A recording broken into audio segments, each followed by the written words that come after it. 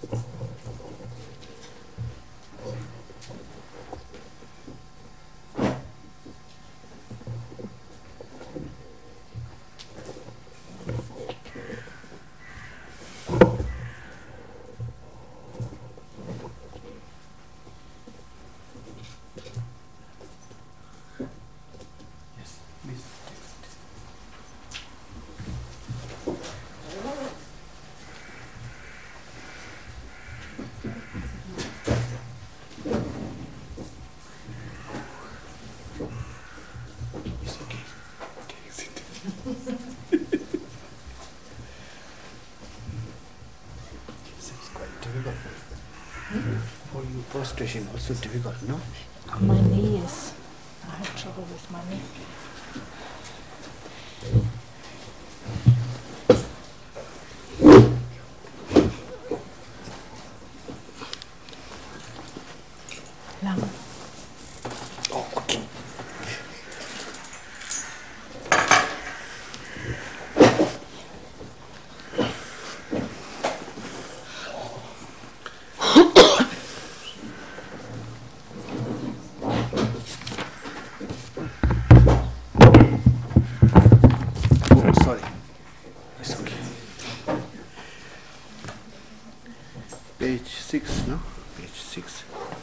Seite 6 fangen wir mit an.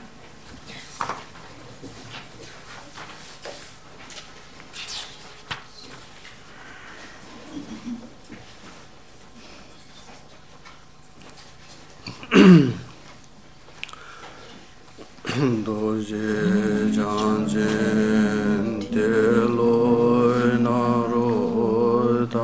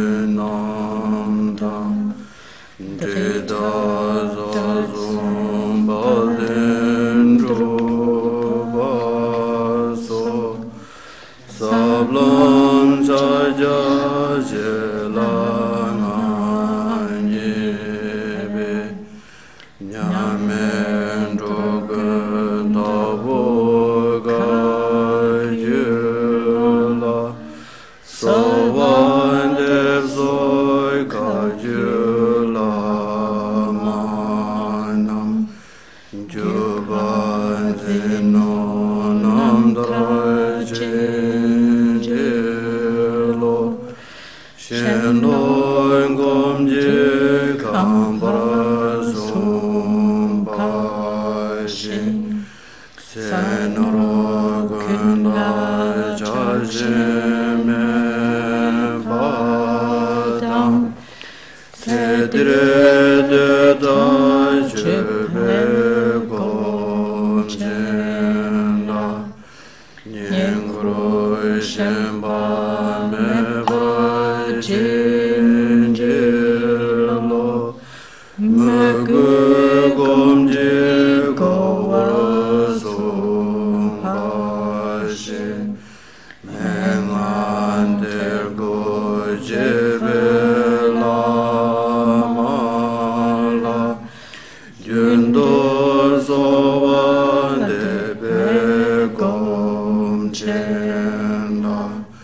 Cemil mebülge vacib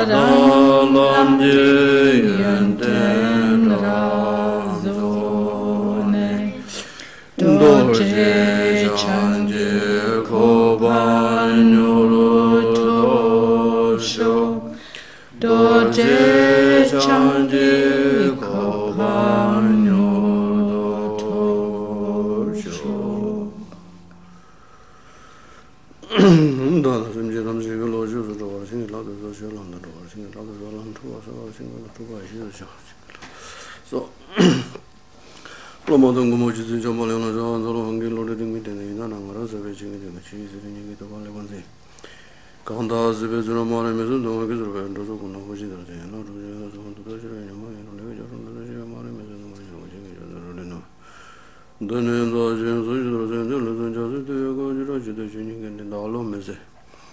이전 발에 알란데 마라 바즈나 디니 마르나 디디니 저린 제게 지나 버서 그나 알로티 마마 까도 된지 줄로 도바에 로데 바베 나완잔도 소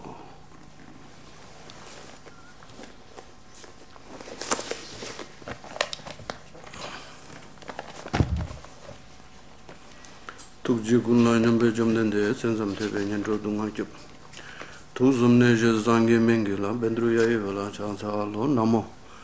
Om be ga se be ga se ma be ga se ranza samanga de so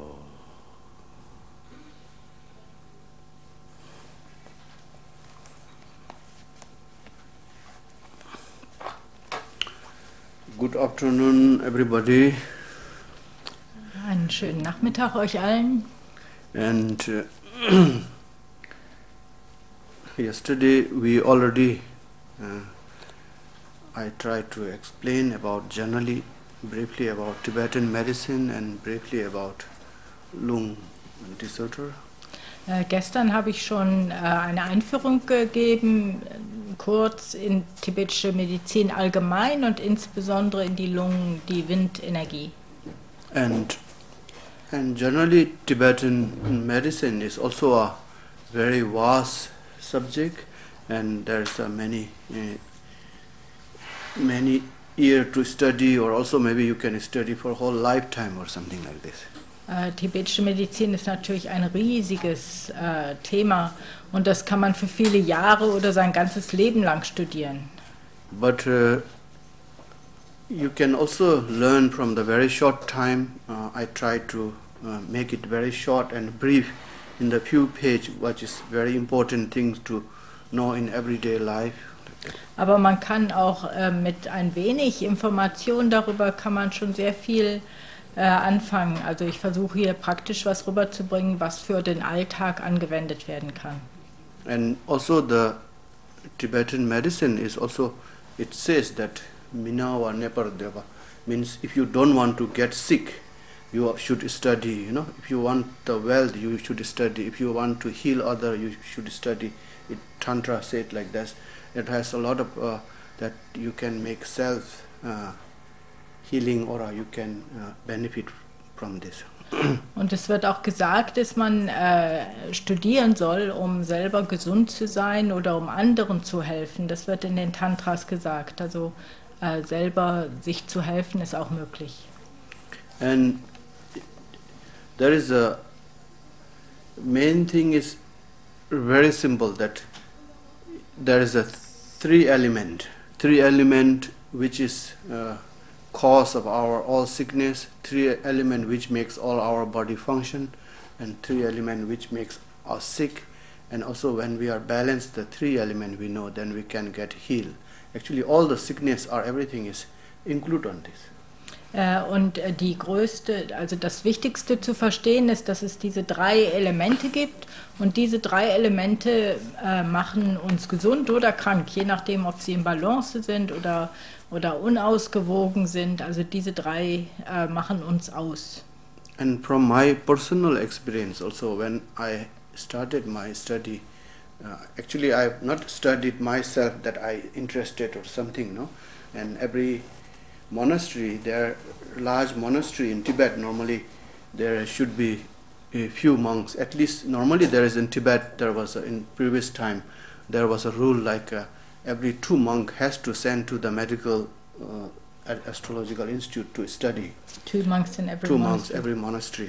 Äh, und als ich äh, die tibetische Medizin studiert war, das war eigentlich nicht, weil ich da selber persönlich großes Interesse dran hatte, sondern äh, weil das ganz wichtig ist, dass in jedem Kloster einige Mönche äh, Medizin studieren. Also die traditionelle äh, Regel ist, dass zwei Mönche in jedem Kloster Medizin studieren sollen. And that was I was chosen to first to study uh, astrology, and then later uh, monastery has sent me to study further uh, to Dharamsala, larger institute, and then there I was uh, I was just 16, no, 15 or 16 between in Western it is 15. I'm just send me, then I no, don't know any idea actually. Und äh, ich wurde halt ausgewählt. Ähm, das war, ich war jung, ich war 15 oder 16 damals und wurde ausgewählt und habe zuerst Astrologie studiert in Dharamsala und dann später Medizin auch.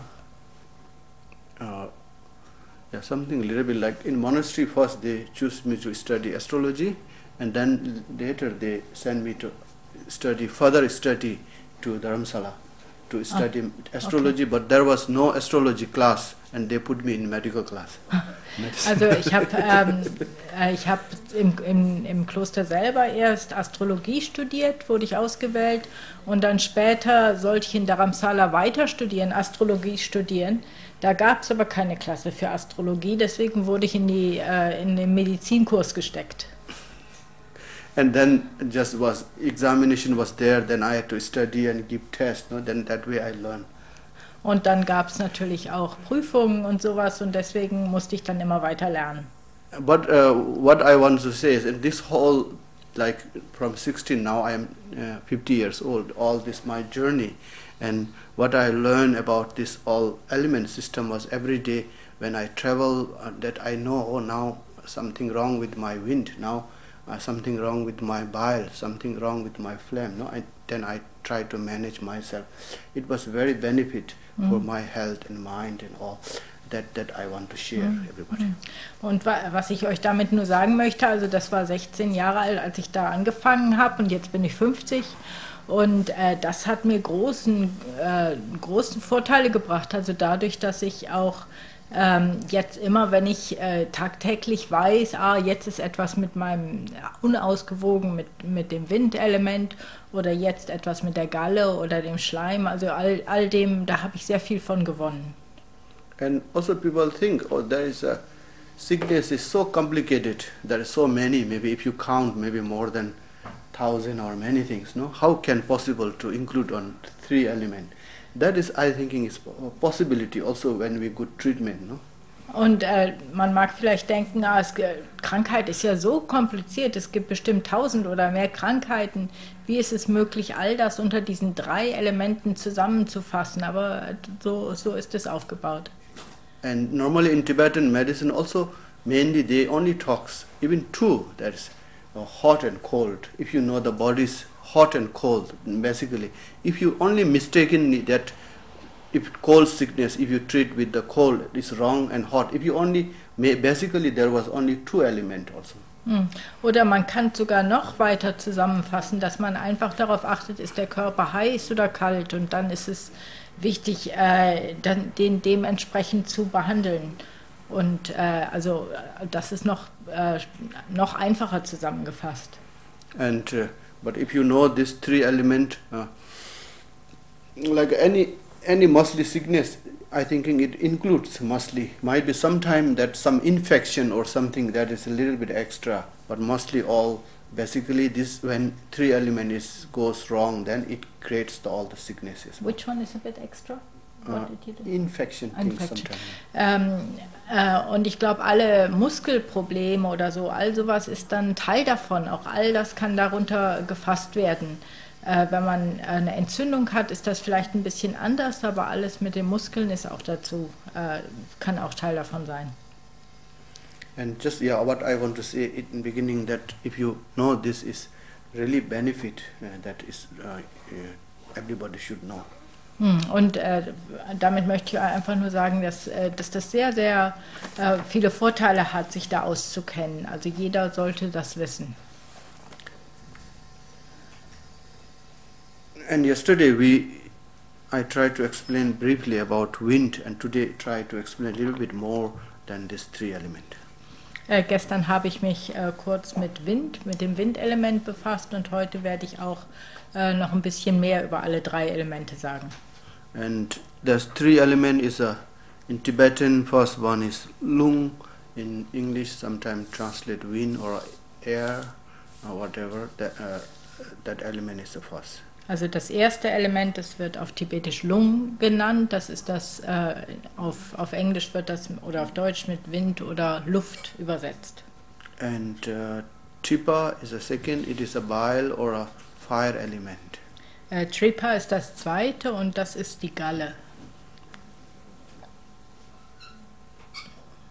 Or third one is a Tibetan it called Pekin. Pekin means uh, element of earth and water element.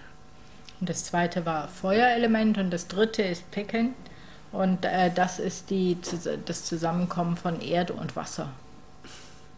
And then also, uh, just yesterday I told it is all dependent that outside what we see our air, no, it is similar in our body has a air in our more settled and in the mind related to mind is more uh, more settled air, you know that all dependent on each element.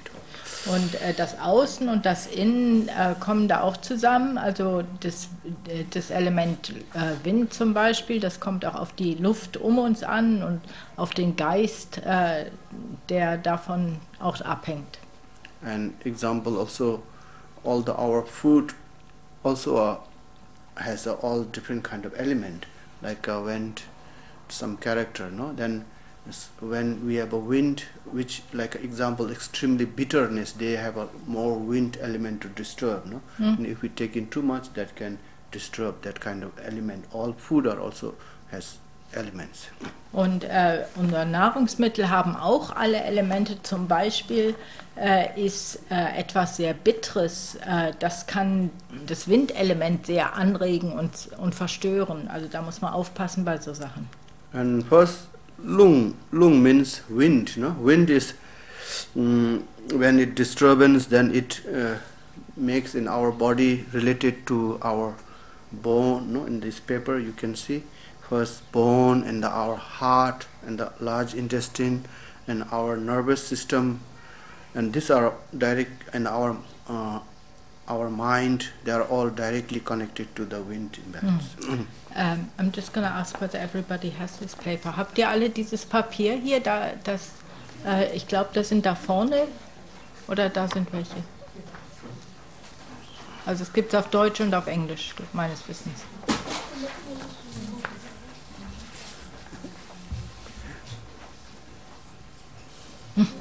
Now we have a real class Yes, everybody's studying, taking notes.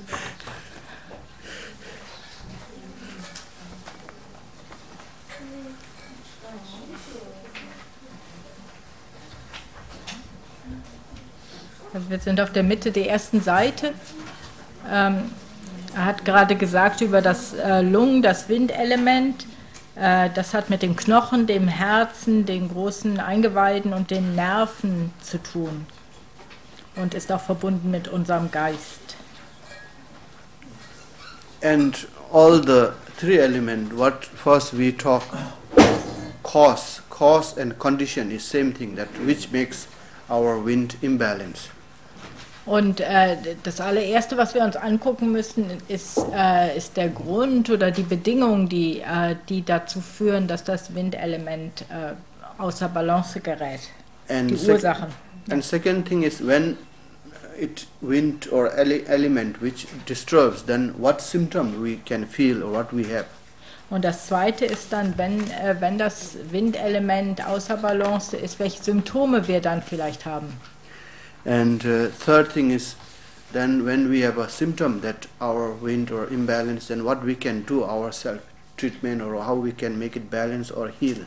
Und der dritte Punkt, da geht es um, um die Behandlung, was wir selber tun können oder welche Behandlung wir, äh, wir auch, um welche Behandlung wir auch bitten können.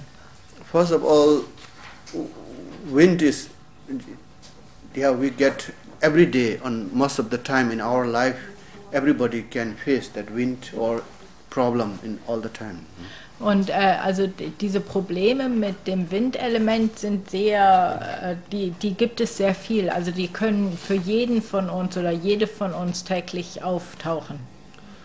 And first we causes, no? What cause? Cause are when wind will be imbalanced with the stress that in stress that you have so much physically, mentally, uh, you are so in so tense, no difficulty that you have to do that can disturb the wind.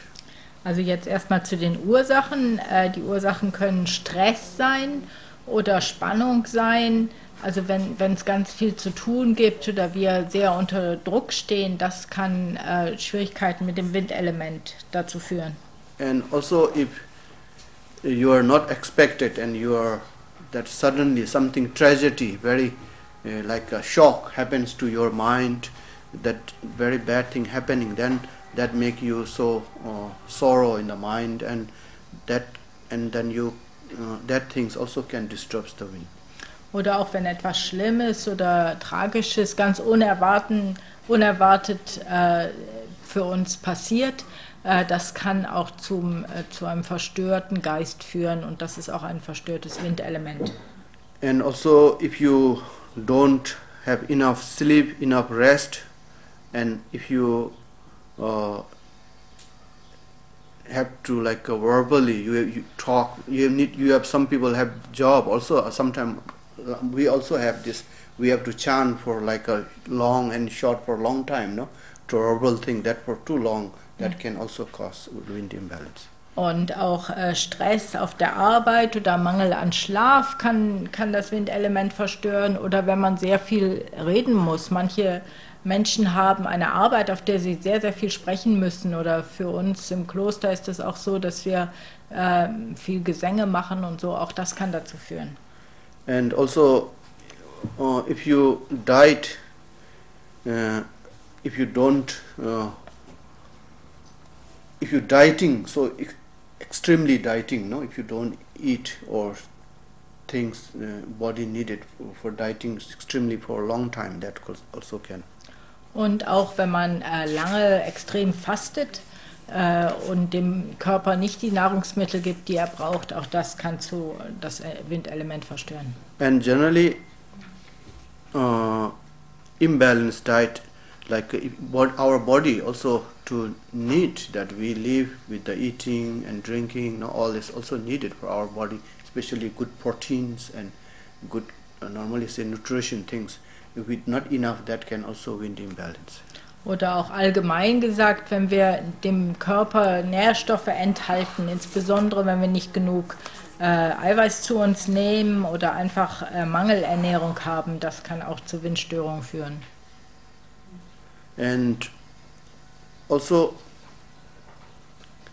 if you eat, but if you don't eat the uh, good food, no, just you eat very uh, this time, no, sometime like five, ten years ago, people some they think that if you don't eat at, at all fat, you only eat boiled things, no, that for so long time, then that like not enough things for body, that also can Und äh, es, also es, wieder, es geht weiterhin um, um Nährmittelzufuhr, also wenn man gar kein Fett isst. Es, das war ja eine modische Erscheinung vor einigen Jahren, dass eben nur das ohne Fett gekocht wurde. Auch das kann zu Windstörungen führen. And uh, if you eat or drink, uh, can say like uh, coffee like that, too strong and very bitter thing for so long time, too much you use, that also can cause. Äh, auch wenn man zu starken oder zu viel Kaffee trinkt, auch das. And also strong tea, and also these days there are so many different kind of tea, especially like a tea which is like peppermint, like a very cooling uh, element has mint and pepper. That things are also uh, not so good for wind. Und äh, auch sehr starker Tee oder auch so Dinge wie Pfefferminztee. Ähm, Minze ist etwas sehr Kühlendes, auch das kann zu Störungen führen. And just yesterday said that sometime in our uh, modern lifestyle, people has to work so much pressurely and stressfully, and then same time if don't eat and don't sleep, and that all combines together, that will really disturbs. You know?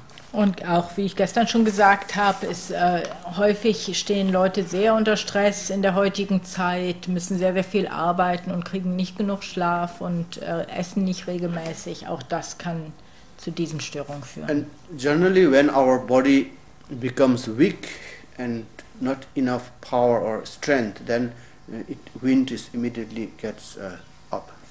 Und generell gesagt, wenn unser Körper schwach wird, also nicht genügend Kraft hat oder Stärke hat, dann äh, ist direkt das Windelement wird äh, angeregt zu viel. And when, when wind is imbalanced, what symptom or what happens to our body? Second thing is symptom. Also zweitens geht es jetzt um die Symptome, wie sich das zeigt, wenn äh, eine Unausgewogenheit des Windelements da ist. And uh, main symptom is that we feel restless, our mind, emotion and thought that ourselves we can't calm down and difficult to relax, difficult to get sleep, deep sleep like that sleep.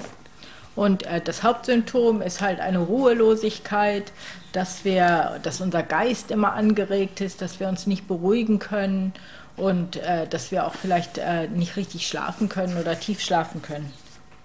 And also when wind is imbalanced, then uh, you become very uh, easily anger or sensitive. Very, if you say somebody that you uh, nothing, very just, ju- if that you become sensitive. Even there somebody is trying to talk to you, you get anger or things like that. That is also wind imbalance. Und äh, die Imbalance zeigt sich auch darin, wenn man sehr sensibel wird oder auch sehr schnell ärgerlich wird. Also wenn jemand mit einem redet und man reagiert schnell mit Ärger, all das ist ein Zeichen von Imbalance des Winds.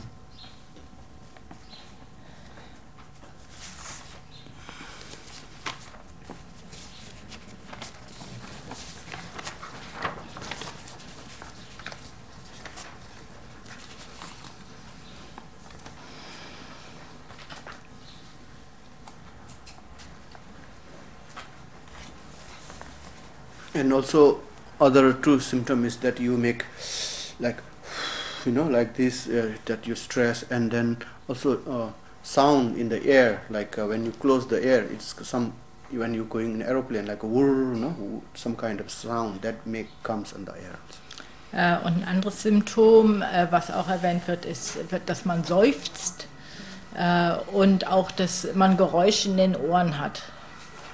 and also physically you feel like not phys- physical body also you feel tired like sometimes bind it and then you try to make like this no these things also Mm. Und äh, körperlich gesehen ist auch, fühlen wir uns äh, eng und steif und wir haben das Gefühl, wir müssten uns eigentlich mehr strecken und dehnen. and especially also sometimes wind makes directly to that you your uh, these joints wood uh, bone joints these are more painful Und äh, das andere sind die Gelenke häufig, also im Kiefer oder sonst wo, dass die Gelenke schmerzen, das ist auch, wird auch auf Windelement zurückgeführt.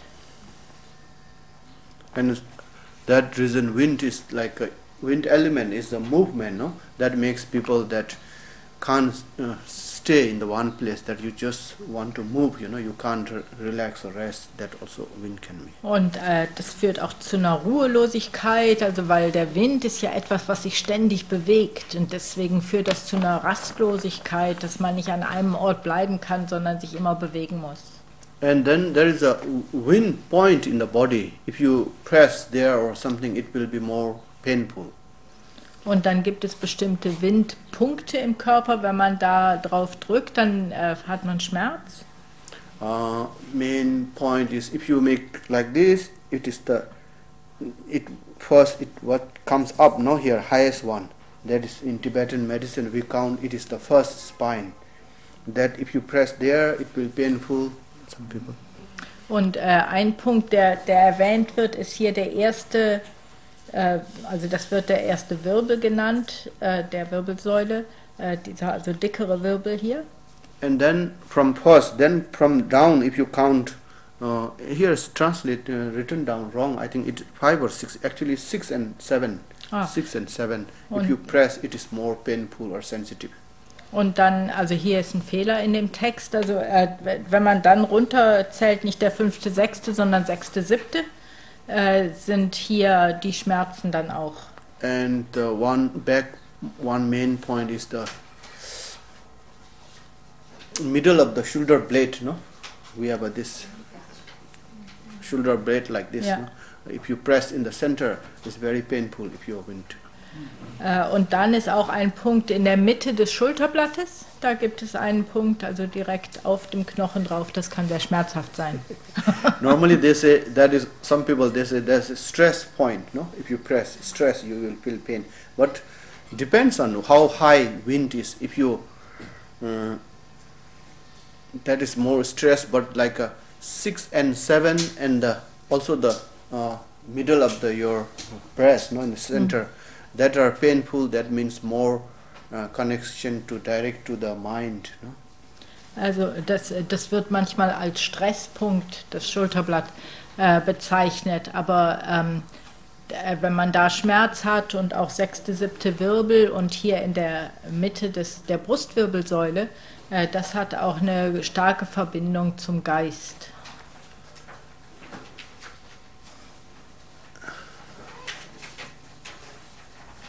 And then normally there's wind that is generally about wind but particularly uh, some we have a, normally five wind in the body you know and the one main wind we call life wind in the center of the chest. When it uh, also imbalanced that imbalance becomes people are so much uh, life was so much difficulty uh, things happening no then it will imbalance that center central life. Also hier gibt